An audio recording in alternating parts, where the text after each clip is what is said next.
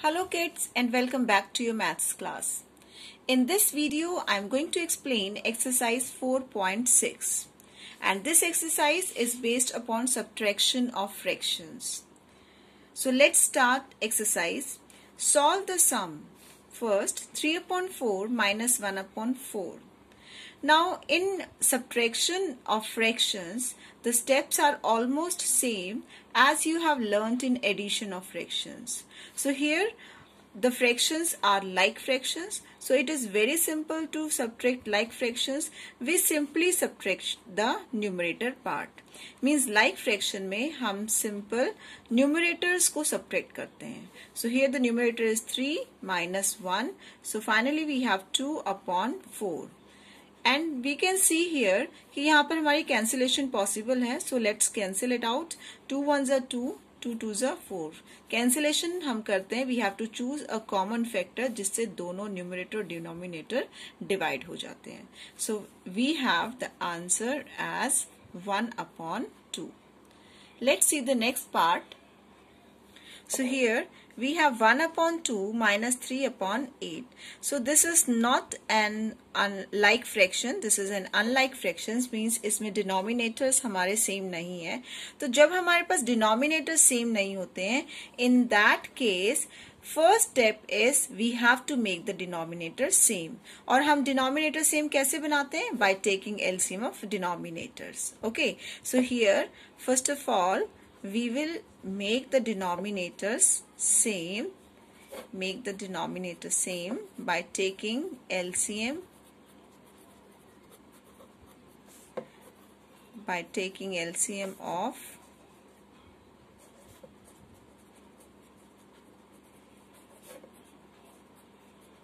two and eight.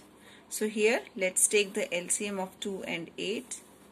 This is two and eight go the table of 2 2 ones are 2 2 fours are 8 then again table of 2 ones are 2 oh 2 twos are 4 then 2 1 1 so the LCM is product of these numbers that is 2 multiply 2 multiply 2 so this is 2 twos are 4 twos are 8 so LCM is 8 now next step is we have to draw a horizontal line and below the horizontal line, we will write the LCM यानी horizontal line के नीचे हम LCM लिखेंगे, which is 8 now, next step is we have to divide the LCM by the denominator of the first fraction यानी first fraction हमारे पास क्या है? वन अपॉन टू और इसका डिनोमिनेटर है टू सो टू से हम डिवाइड करेंगे दिस इज़ टू फोर जा एट और न्यूमिनेटर से मल्टीप्लाई करेंगे दैट इज़ फोर वन जा four so it is four next we will do the same step for the next fraction also यानी eight को एट से divide करेंगे. So the answer is one और numerator से multiply करेंगे. That is one multiply by three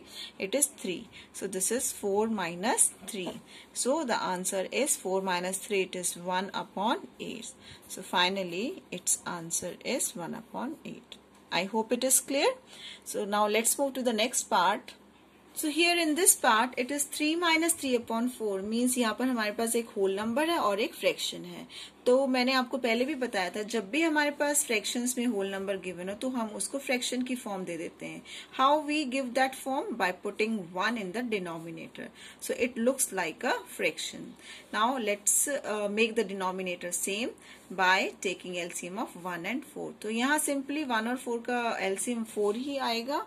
So let's write So here we have this is 4. So the finally the LCM is 4. Next step is हम LCM को इस horizontal line के नीचे लिखेंगे और वन बाय वन हम divide करेंगे denominator से सो so, फोर को वन से डिवाइड करेंगे क्या आएगा वन फोर ज़ा फोर और मल्टीप्लाई करेंगे न्यूमिनेटर से दिस इज़ फोर थ्री ज़ा twelve then minus same we will do with the next fraction so 4 को 4 से divide करेंगे it will come 1 और 1 को 3 से multiply करेंगे that is 1 3 is 3 so we have 12 minus 3 it is 9 upon 4 now this is an improper fraction so जब भी हमारे पास आंसर improper fraction में आता है तो हम उसको किसमें लिखते हैं mixed fraction में convert करते हैं so how we convert 9 को 4 से divide करें this is 4 2 जा 8 minus 1 so how we will write this is quotient हम as a whole number लिखते हैं then we write uh, remainder as the numerator or divisor at the denominator I hope it is clear. Now let us see the next part. Next we have it is 2 minus 1 whole 1 by 4. So ये हमारे पास है mixed fraction. So जब हमारे पास mixed fraction को solve करना है तो first step होता है कि उस mixed fraction को improper fraction में convert करें. So let's write तो 2 2 को हम लिखेंगे as 2 by 1 और one whole one by four को हम लिखेंगे कन्वर्ट करें इसको इम्प्रॉपर में कैसे करते हैं? वन फोर जा मल्टीप्लाई करेंगे फोर को वन को so this is one four जा फोर और four plus one it is five so this is five mine five upon four now uh, we will make the denominator same by taking LCM of 1 and 4 so here again the LCM is uh, 4 so here it is 4 we have already calculated in the above question also so now let's write the LCM below this horizontal line और अब हम इसको LCM को first वाले fraction के denominator से divide करेंगे that is 4 को 1 से डिवाइड करेंगे 1 फोर जा 4 और न्यूमरेटर से मल्टीप्लाई दैट इज़ 4 टू जा 8 so, we will write it 8 here. Same we will do with the next fraction. यानी 4 को 4 से डिवाइड करेंगे. 4 वन जा 4 और 1 5 से मल्टीप्लाई करेंगे. दिस इज़ 1 5 जा 5 नाउ लेट अस सब्ट्रैक्ट तो इन दोनों के बीच में माइनस का साइन है. सो हम सब्ट्रैक्ट करेंगे. 8 minus five it is 3 upon 4 so ये हमारा प्रॉपर फ्रैक्शन है. It means the answer is 3 upon 4. I hope it is clear. Now let's move to the next part. So here we have the question 2 whole 3 by 8 minus 1 whole 1 by 4.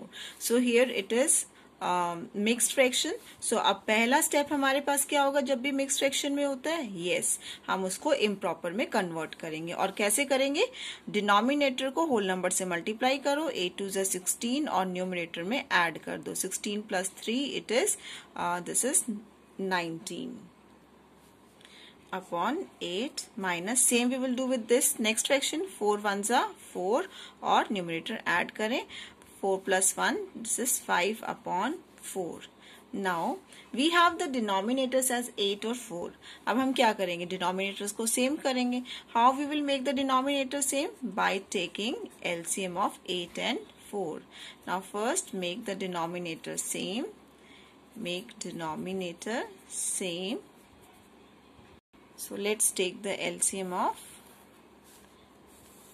8 and 4 so let's divide it by uh, we can start with 4 this is 4 2s are 8 and 4 1s are 4 then by 2 1 1 so LCM is 4 multiply 2 this is 4 2s are 8 now next step is आप हॉरिसोंटल line के नीचे LCM को लिखेंगे और उस LCM को first वाले fraction के डिनोमिनेटर से डिवाइड करेंगे। यानी एट को एट से डिवाइड करेंगे, क्या आएगा आंसर वन ओके और वन को किससे मल्टीप्लाई करेंगे? न्यूमरेटर से दैट इज़ नाइनटीन से।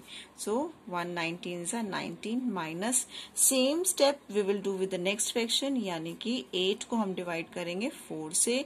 तो दिस इज़ फोर टू जा एट और टू को मल्टीप्लाई करेंगे फाइव से दैट इज़ टू फाइव ज़ा ten now this is 19 minus ten so अब हम न्यूमिनेटर्स को माइनस करें 19 minus ten it is 9 upon 8 now this is an improper fraction it means हमें इसको किसमें चेंज करना पड़ेगा? मिक्स्ड फ्रैक्शन में. तो जब भी हमारा आंसर में इम्प्रॉपर में आएगा uh, हम उसको always we will convert it into the mixed fraction so let's divide by 8 so 8 ones are 8 minus 9 minus 8 it is 1 so how we are going to write? This is we will write the quotient as a whole number remainder as the numerator or divisor as the denominator. So finally the answer is 1 whole 1 by 8 now let's move to the next part So here next question is 12 whole 1 by 5 minus 3 whole 1 by 4 plus 2 whole 1 by 2. So यहाँ पर हमारे पास multiple operation नज़र आ रहे हैं यानी minus भी है और प्लस भी है। और हमें मिक्स फ्रैक्शन की फॉर्म में दिया हुआ है। तो सबसे पहला स्टेप तो हमारा क्या होगा कि उस मिक्स फ्रैक्शन को इम्प्रॉपर में कन्वर्ट करें। सो so, कैसे कन्वर्ट करेंगे? 5 को 12 से मल्टीप्लाई करें। 5 ट्वेल्व जा सिक्सटी एंड 60 में 1 ऐड करें। तो so, 60 plus one it is 61 one upon five then minus फिर सेम फोर थ्री ज़ा twelve twelve plus one it is thirteen so this is thirteen upon four ऐसे ही हम नेक्स्ट फ्रैक्शन के साथ करेंगे ट्वेंटी को टू से मल्टीप्लाई करो ट्वेंटी टू ज़ा forty forty plus one it is forty one upon twenty now, we have the denominators as 5 4 and 20 दो वी हैव डिफरेंट साइंस यानी यहाँ माइनस है और यहाँ प्लस है सो इट हार्डली मैटर्स आप सबसे पहले डिनोमिनेटर्स uh, को सेम करेंगे by taking LCM so let's make the denominator same make the denominator same by taking LCM of हमें कौन से नंबर्स का एलसीएम लेना है? जो हमारे डिनोमिनेटर्स हैं। That is five four and twenty so let's take the LCM of five four twenty so let's divide by four so this is five four one ज़ा फोर फोर फाइव ज़ा twenty अब हम five से divide करें। Five one ज़ा one one Now, the LCM is, that is 4 multiplied by 5 is equal to 20. Now, next step is, we will draw a horizontal line और उस horizontal line के नीचे हम लिखेंगे हमारा LCM so which is 20 next step is अब 20 को first वाले फ्रैक्शन के डिनोमिनेटर से डिवाइड करें, यानी 20 को 5 से डिवाइड करेंगे।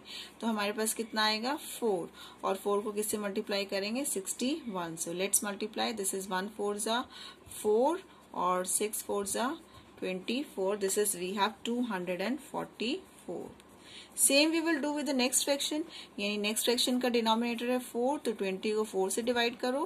दैट इज़ फोर फाइव जा ट्वेंटी और फाइव को थर्टीन से मल्टीप्लाई करो. तो थर्टीन फाइव जा sixty five so right sixty five here now next plus sign है. फिर उसके बाद नेक्स्ट लास्ट फ्रैक्शन का डिनोमिनेटर ट्वेंटी तो ट्वेंटी को ट्वेंटी से डिवाइड करेंगे तो हमारे पास आएगा वन और वन को फोर्टी वन से मल्टीप्लाई करो. That is 41 now now there are two ways आप uh, पहले हमने डमास भी रूल सीखा तो पहले आप ऐड करो और फिर सपरेट करो ओके okay? या फिर आप सिंपली ऐसे भी कर सकते हैं कि 244 में से सिक्सटी uh, फाइव uh, आप माइनस uh, करें और फिर plus one so always you should follow the DMAS rule यानी पहले आप 244 को 41 ऐड करें. This is one four plus one five four plus four eight this is two 285 I hope आपको याद होगा डमास रूल में हम सबसे पहले डिवाइड करते हैं फिर मल्टीप्लाई करते हैं एडिशन और सबसे लास्ट में सब्ट्रैक्शन करते हैं।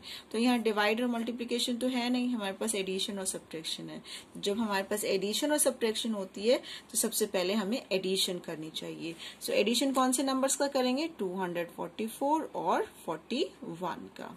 सो दिस इज़ 285 माइनस और अब हम करेंगे 65 इसमें minus divided by that is upon twenty two hundred eighty five में सिक्सटी फाइव माइनस करें this is five minus five zero eight minus six it is two and this is two so we have two hundred twenty upon twenty now we can see कि हमारे पास cancellation easily possible है। ठीक है? यानी अगर cancel होते हैं नंबर्स तो हमें कैंसिल आउट करने चाहिए। तो ज़ीरो से ज़ीरो कैंसिल जब हमारे पास यूनिट प्लेस में दोनों तरफ़ ज़ीरो होते हैं तो हमारी कैंसिल हो जाती हैं।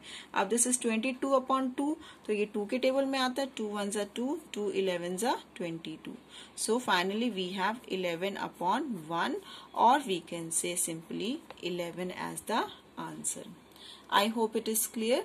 So we have done exercise 4.3 sorry 4.6. Thank you.